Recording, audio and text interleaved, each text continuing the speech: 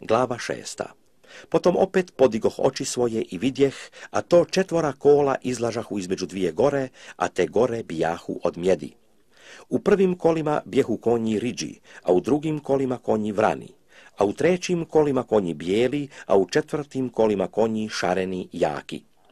I progovoriv, rekoh anđelu koji govoraše sa mnom, šta je to, gospodaru moj? A anđeo odgovori i reči mi, to su četiri vjetra nebeska koji izlaze ispred gospoda sve zemlje gdje stajaše. Konji vrani što su u jednim, oni idu na sjevernu zemlju, a bijeli idu za njima, a šareni idu na zemlju južnu.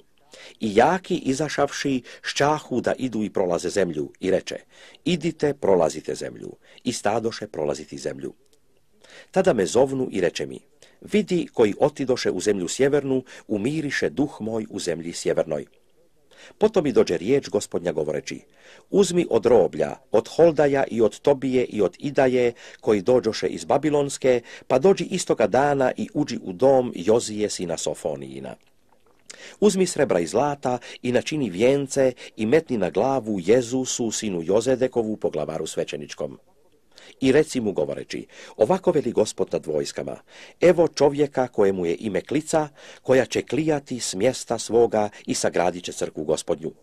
Jer će on sagraditi crkvu gospodnju i nosit će slavu i sjedjeće i vladat će na svom prijestolju i bit će svećenik na prijestolu svom i svijet mirni bit će među obijema.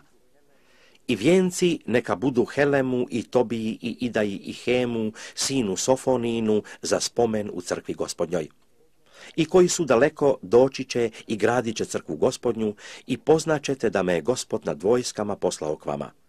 I to će biti ako uzaslušate glas gospoda Boga svojega.